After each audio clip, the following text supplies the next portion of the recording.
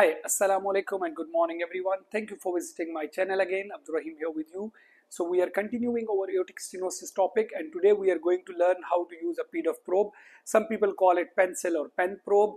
So we are going to learn how we will be using this. This probe is very easy to use but at the same time very tough to use as well if you don't know the tips and tricks to use it. Okay. I will explain you the main tricks. It's not tough. You will learn it very well. So uh, first I will explain you about the probe. This probe is mainly, you know, the probe uh, keeps two large crystal like CWO. One is continuously sending and one is continuously receiving the signals.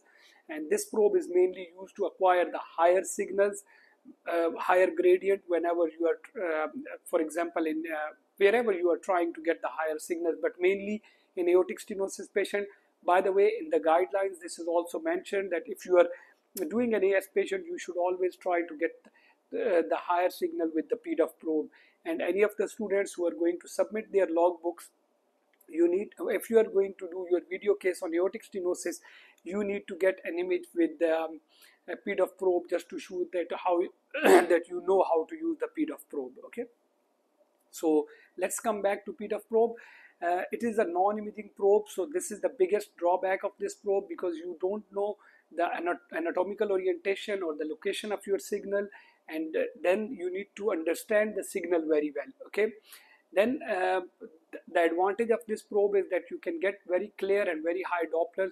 You just need to get more and more experience and know about the sound of the Doppler. So you once you will learn the sound and understand the sound of the Doppler then you will uh, be getting clear signals okay so mainly we are using it in aortic stenosis patients. So you use it either in um, apical views like apical 3 and 5 chamber view, then right parasternal or suprasternal and high left parasternal. So these are the main positions where we use our Pedoff probe.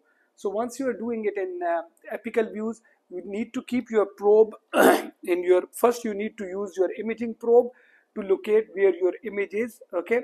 Once you locate that area and mark that area then you use your this probe okay? How you are going to use it you need to keep this probe here while the angle of your probe is going towards the right shoulder or towards your neck like here okay?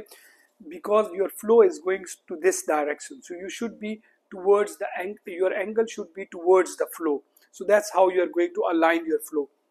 Then you are going to use it in suprasternal images you will ask the patient, you will remove the pillow and extend the neck of the patient. So you will have this suprasternal notch.